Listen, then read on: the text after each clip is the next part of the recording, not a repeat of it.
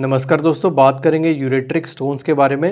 Ureter एक छोटा सा पाइप होता है जो आपकी किडनी और यूरिनरी ब्लैडर को कनेक्ट करता है और इसमें से यूरिन पास होता रहता है।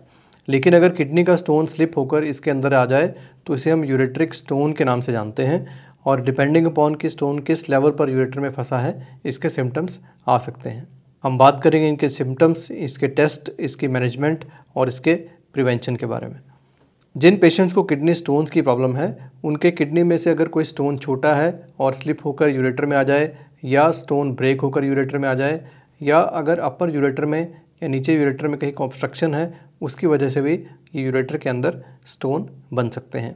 इनके टाइप्स क्या हैं? किडनी स्टोन्स की ही तरह इनके भी वही टाइप्स हैं जो किडनी के स्टोन्स में रहते हैं और सबसे कॉमन है calcium stones calcium stones calcium oxalate या कैल्शियम फॉस्फेट के हो सकते हैं। उसके बाद यूरिक एसिड स्टोन्स जो कि यूरिक एसिड के ज़्यादा होने से हो सकते हैं स्ट्रोवाइड स्टोन्स जो यूरिनरी इन्फेक्शन की वजह से हो सकते हैं, और सिस्टिन स्टोन्स जो सिस्टिन के ज़्यादा प्रोडक्शन की वजह से होते हैं। यूरेट्रिक स्टोन्स के रिस्क फैक्टर्स क्या हैं? वो लोग जो पानी कम पी रहे हैं, जिनको डायबिटीज़ है पॉलीसिस्टिक किडनी डिज़ीज़ है, या आपके फैमिली की हिस्ट्री है स्टोन्स बनने की, तब आप में इसका रिस्क ज़्यादा रहेगा।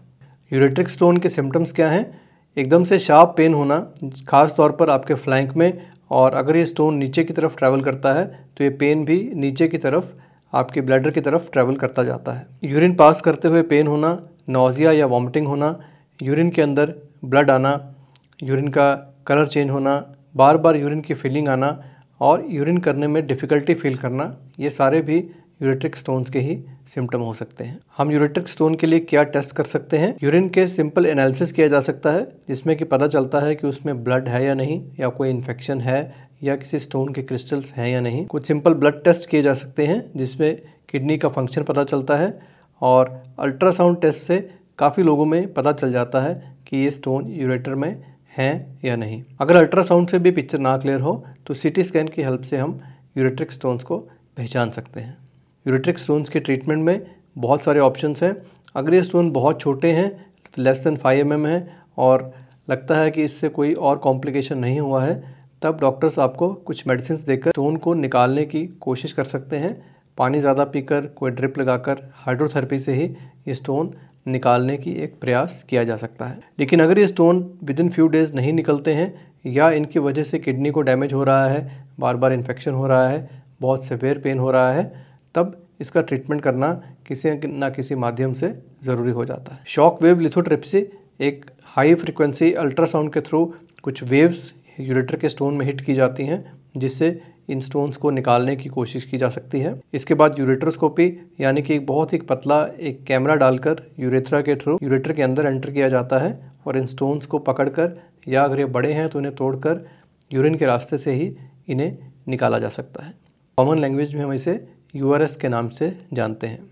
अगर ये यूरेटर के बिल्कुल ऊपरी हिस्से में है, तब पी यानी परकुटेनियस नेफ्रोलिथॉटमी करके जैसे कि किडनी में से स्टोन निकाला जाता है, उसी तरीके से अपर यूरेटर के स्टोन को वापस किडनी के अंदर धकेल कर इसे किडनी के अंदर से निकाल सकते हैं। जबकि अगर ये लोअर यूरेटर में है तो URS की मदद से ही इसे निकाल सकते हैं। इसके बाद एक यूरेट्रिक स्टेंट यानी कि पतला सा एक पाइप आपके यूरेटर के अंदर छोड़ा जाता है कुछ दिनों के लिए ताकि हीलिंग में कोई दिक्कत ना आए और अच्छे से आपका यूरेटर हील हो जाए, उसमें कोई स्ट्रक्चर ना बने, कोई और कॉम्प्लिकेशन ना हो और कुछ दिनों के बाद इस स्टेंट को निकाल दिया जाता है बिना किसी चीरे के यूरिन के ही रास्ते से। यूआरएस एक छोटा सा ऑपरेशन है और आप इसे करवाकर सेम डे इवनिंग या नेक्स्ट डे अपने घर जा सकते हैं और अपनी नॉर्मल लाइफ में वापस आ सकते हैं। इसमें कोई भी कट नहीं लगता क्योंकि सिंपल यूरिन के रास्ते से ही स्टोन को निकाल दिया जाता है। यूरिन का बैग लगाने की भी ज़्यादातर केसेस में ज़रूरत नहीं रहती और आप बहुत क्विकली अपने नॉर्मल लाइफ में वापस आ सकते हैं। हम इन स्टोन से कैसे बचें? आप अपनी हाइड्रेशन ज़्यादा रखिए, एक अच्छी क्वांटिटी में पानी लीजिए एटलीस्ट दो से तीन लीटर फ्लूड हर रोज़ लीजिए। अपनी एनिमल प्रोटीन की इनटेक को कम कीजिए, यानी कि मीट मांस या एग्स की कंजम्पशन को कम कर सकते हैं, अगर आप में रिस्क फैक्टर्स हैं किडनी या यूरेट्रिक स्टोन बनने के। अपने सॉल्ट की अमाउंट को कम रखिए और एक वेट अच्छा मेंटेन कीजिए। अगर हैवी वेट है तो वेट लूज कीजिए। और अपनी ऑक्सिलेट की इंटेक को ऑल्सो कम कीजिए। वी होप कि ये वीडियो देखकर आपको यूरेट्रिक स्टोन के बारे में आइडिया लगा होगा। और आप या आपके आसपास कोई इससे परेशान है तो आप एक अच्छा डिसीज़न ले पाएँगे। बहुत जल्दी इससे बाहर आ पाएँगे।